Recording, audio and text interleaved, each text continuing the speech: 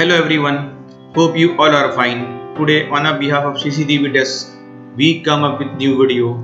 This video is all about a very important CMS named as V380 camera software for PC. So in this video we are going to describe what is this software is all about, what, it, what are its features and after that will tell you how you get the file and how you install them and finally to how you configure them to make the camera live. So keep watching till end. Please like share our video and subscribe to our channel if you are a new one. So so what what is v380 camera software for pc actually is? It is a cms which help you to connect multi locations as well as to control the CCTV cameras on your PC and basically this is used to connect multi-location and remote location cameras on your PC and after that when you connect them you are able to control them as well. Means you are you are able to check the recording you are able to change the color and brightness and all the things if if they are, if it is PTZ supported camera is PTZ then you are able to pan tilt zoom so this is all about this software.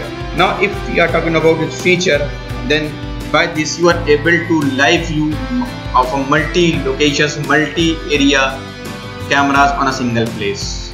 You are and second thing you can check the recording of the remote locations from from your PC and the third thing you are able to control all the camera setting on a single place. And the fourth thing is that you are able to control PTZ option like pan tilt and zoom. Even you can save the record on your PC also. So this is all about our theoretical parts. Now now we move to our technical parts so keep watching till end. One more thing I would like to discuss and that I forget to tell tell you that what are the minimum system requirement for the software run. So in my opinion first thing you should install that you have a Windows operating system Windows 7, 8, 10 or 11 and after that you have Core i5 processor or equivalent processor and if we're talking about the RAM then we should it should take minimum 4 GB of RAM. And if we're talking about the free space of the hard disk then at least 500 MB for the hard disk. And some software some CMS will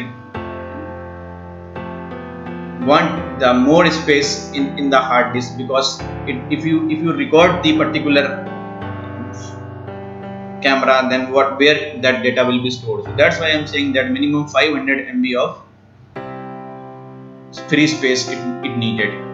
And please install uh, prerequisite properly. Every software have a different prerequisite. And now moved now we will discuss the particular part of the video means how we get the file, how we download and how we install them. So keep watching till end.